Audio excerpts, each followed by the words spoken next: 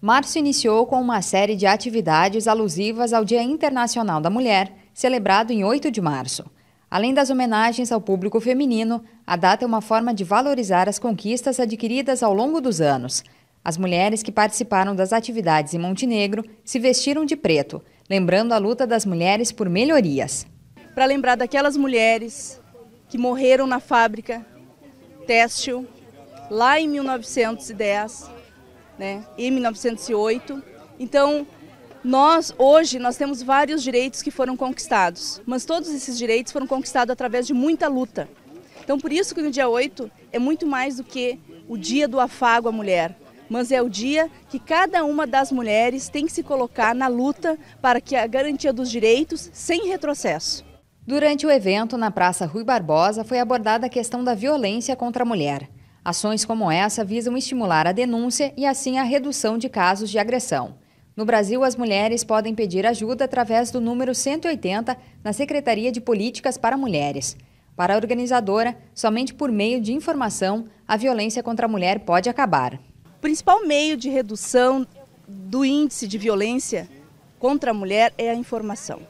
Quanto mais informada for a mulher, tá? quanto mais ela falar e expressar, essa violência vai diminuir. O município de Montenegro busca meios de auxiliar as mulheres vítimas de violência.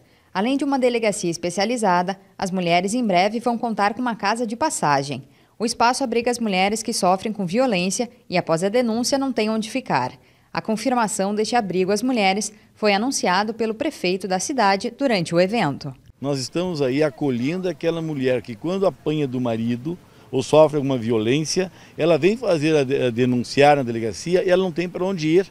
Ela tem que voltar para a sua casa de novo, onde ela saiu para denunciar aquele que foi seu, a, que bateu nela. Então nós estamos com dois, dois ambientes, né, dois apartamentos mobiliados para acolher naquele momento ali que a mulher possa no outro dia ser acolhida no outro dia ela buscar então uh, um local que ela possa ir ou acertar então as questões da sua residência onde ela, onde ela, onde ela reside, onde ela está. Conquistas como essa são comemoradas pelas mulheres, que podem lutar por direitos sem violência. A principal uh, motivação dessa agenda foi eh, simplesmente estar em encontro às mulheres, colocando para elas a necessidade de que elas conheçam as leis e que possam, através dessas leis, não admitirem a violência, nenhum tipo de violência.